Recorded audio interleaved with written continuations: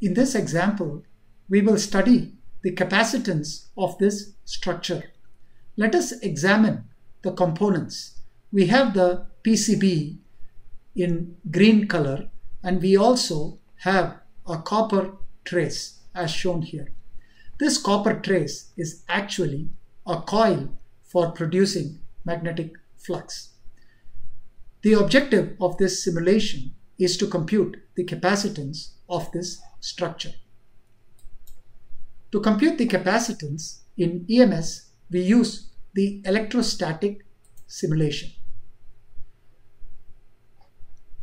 After creating the study, we have to assign materials to the two components. The coil is made from copper and the PCB is made from Duroid 5880 material. Next, we have to assign the conductors for this structure. We will do that by applying what is called as a floating conductor boundary condition. In this example, the PCB coil is assigned a floating conductor. Next, we will also apply a ground voltage of 0 volts to the bottom face of the PCB. Once the solution is ready, we can take a look at the results.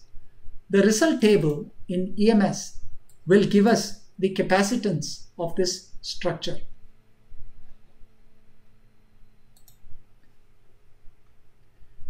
In the next study, what we will attempt to do is to compute the electric field distribution through the PCB when you maintain the coil at 28 volts. So similar to the previous study, we have created another electrostatic study. In this electrostatic study, instead of defining a floating conductor, we have defined the PCB coil to be maintained at 28 volts. As before, we have the ground potential of 0 volt assigned to the bottom face of the PCB.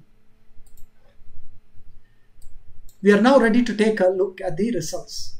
The first result that we will be looking at is the electric field distribution in the board. You can see the areas of high electric field and you can locate them using the color chart. For example, high electric field values are in red whereas the low electric field values are shown in blue. We will have to take a look at the cross section to see how the electric field varies through the cross section of the board. To do that, we employ what is called as section clipping.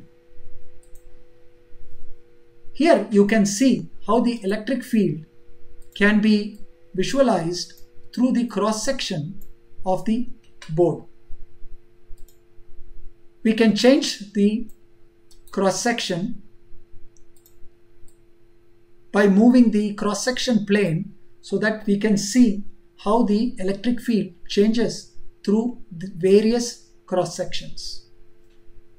Finally, EMS has the ability to create what is called as a safety factor plot.